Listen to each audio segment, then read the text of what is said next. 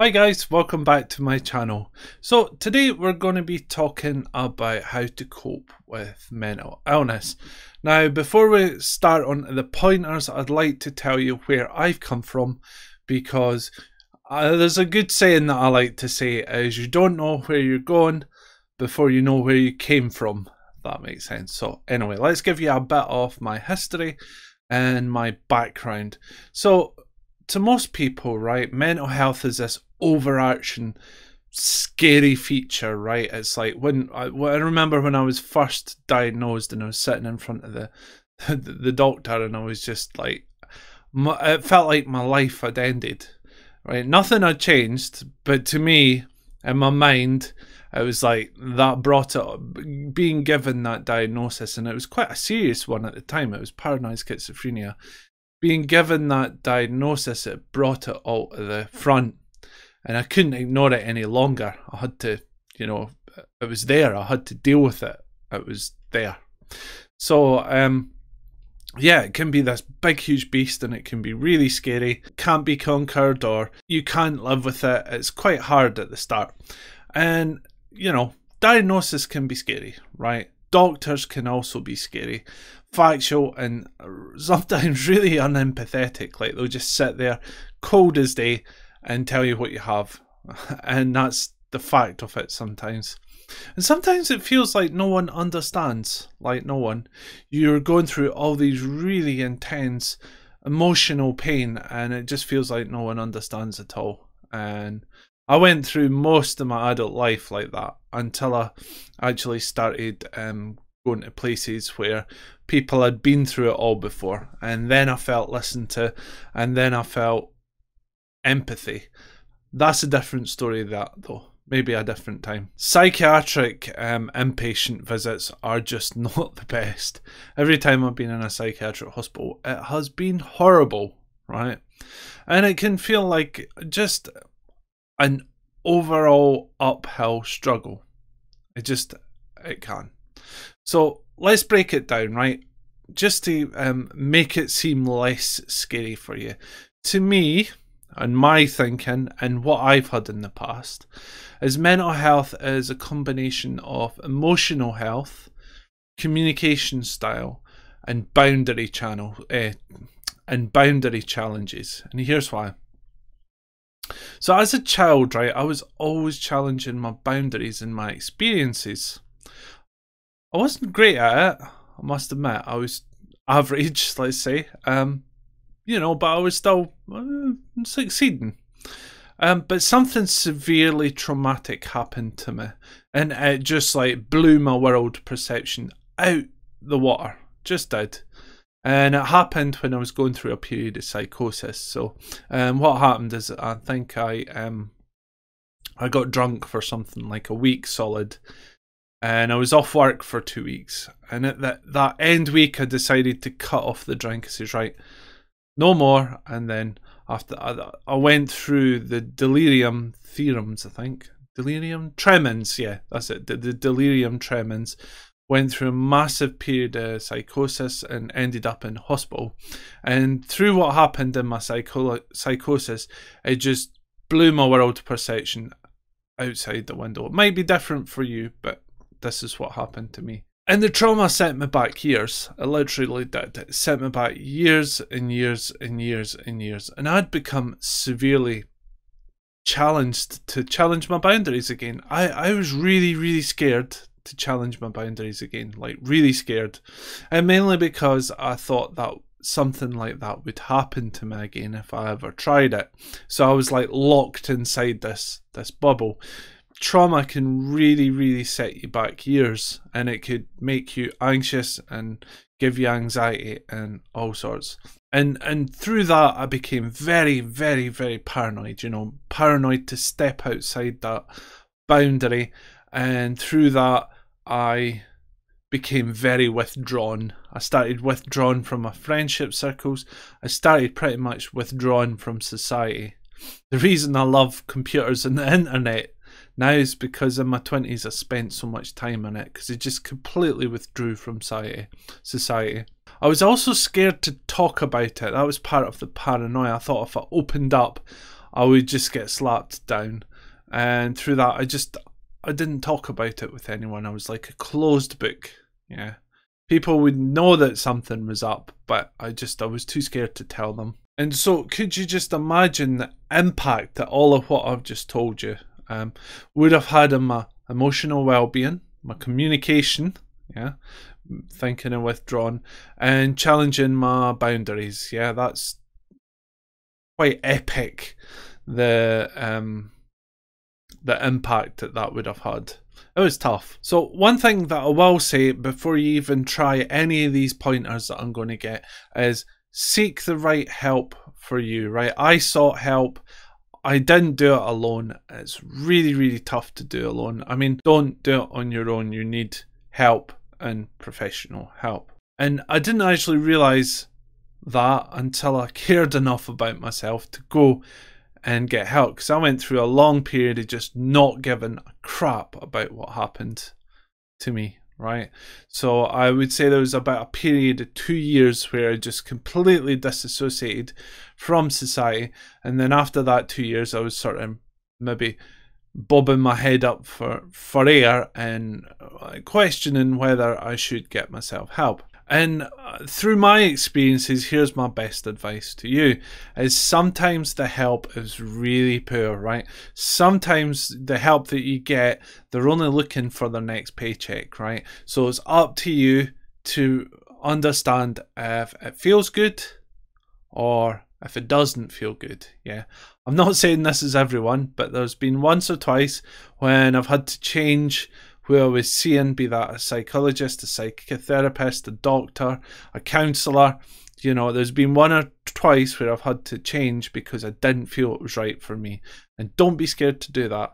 Um, one thing that I used to do when I was a lot younger and when I'd just been diagnosed is I took what the doctor said as the gospel and just sometimes they don't know what they're talking about right you know what's best for you and you know you guide by how you feel. But just remember sometimes those professionals will challenge your boundaries to the max. Sometimes you'll meet your own devils right? You'll meet you'll meet your own demons trust me on that one and sometimes it will be so crushingly painful but you'll be better and more stronger for it right? But that's a good thing. If they're making you do that that's a good thing. That's that's good yeah meet your demons. Good. But I eventually sought the the you know the right people for me, and I eventually got it worked out. But just be aware that it sometimes can take years to do that, right? To get a combination of people who work for you. I think I had a counselor, a psychotherapist, a doctor, a psychologist, and a psychological consultant, I think. And I'd worked out that they were all working harmoniously to benefit me. And it was an ideal situation, which I know not everyone can get, but there we are. I had help as well. I had I went to um I contacted mental health charities and they helped me with that as well. So, but just remember it took me years to get to that point. But the journey was amazing. I discovered so much about myself. You know, there's far more than I ever would hadn't I not gotten a mental illness illness coincidentally. Here are a few tips how I coped with all of that, okay? Is step one, get help, right? I just covered that. You're not going to do it on your own, I promise you. Yeah. One thing that I like to say to people is how are you going to know to help anyone else if you don't even know how to help yourself, right? Sometimes professionals are able to spot things in you, or sorry, spot things in you that you just don't realize or are unsure, uh, don't see, or you've got a blind spot to. That's what they're there for. They make you realize that, yeah. So um, get help, right? That's the first thing. Step two, another important one, is stop abusing substances, right? If you're like me, when it got tough, you took to the drugs or you took to the drink or even took to both of them. Stop it. I bet your life will be a hundred times easier if you just cut that out of your life. I'm telling you. When I cut alcohol and drugs out of my life, it just simplified it a thousandfold. And I also noticed things like my reaction time, my memory started to come back. I was able to, I was more fitter. I was able to run faster. You know, all all these things. Right when I stopped abusing substances, I was so much more quicker on the ball, and I was my reflexes were there, and you, you know, it's just stop abusing substances and you'll stop getting yourself into bad situations and having to work yourself out of them. Trust me on that one. Number three, get a hobby, right? One of the most important things. A lot of people, this is like one of my favorite things to tell people is to get a hobby, right? Doesn't matter what hobby, as long as you've had an interest in it or you've always wanted to learn it but never had the confidence to learn it, make that step, right? Just go out, research it online, join maybe a few groups online. You don't need to actively engage with it. You can just passively engage with it, talk to people, so on, and get a feel for how the hobby is. A lot of people ask me why I, I say this, and it's because it distracts you, right? Well, one thing I did is when the very first time I stopped drinking, because I was pretty much an alcoholic, right? I really struggled with the drink at the start. And one thing I did is I got myself a few hobbies. So like I would get up at four o'clock in the morning just to picture the sunset at the the sunset at the beach. And I really loved taking photos and taking them back to my computer and uploading them and digitally enhancing them. And that really distracted me from wanting a drink. And it also distracted me how crap my life was at that point. I mean, it, it wasn't crap I'd say. But in my mind, it was crap. But it, um, it really distracted me from that. Really did. It's getting a hobby is a very rewarding, distracting experience. I really recommend it. Number four, learn. Don't be afraid to pick up a book and learn. Yeah, challenge your perceptions. Pick up a book, learn something new, learn about history, learn about what's on in the world at the moment. Learn as much as you can. The more you learn, the more understanding that you will be. Yeah, I've found that the more I try and understand the world, the more understanding I am to other people's actions. Learning is a really, really good learning experience. I, I really recommend it. It will enhance your understanding and general central comfortability tenfold. Number five, always take risks, right? I mean, okay, I don't mean a risk like jump off a cliff and try and see if you don't splat on the um the surface. No, I don't mean those types of risks. I mean like if you have a house offer in another country, take it and see how it works out. The more risks you take, the more confident you'll be in dealing with the fallout, right? One thing I didn't do when I first had my ment um, was diagnosed with my mental illness is I was desperately scared to step out that comfort zone in case anything like that happens happens again. But eventually, I slowly took small baby steps until gradually increased it until now I'm taking massive risks, sometimes too much at a risk, but you know, take risks. It will enhance your coping mechanism. I trust you, I promise you on that.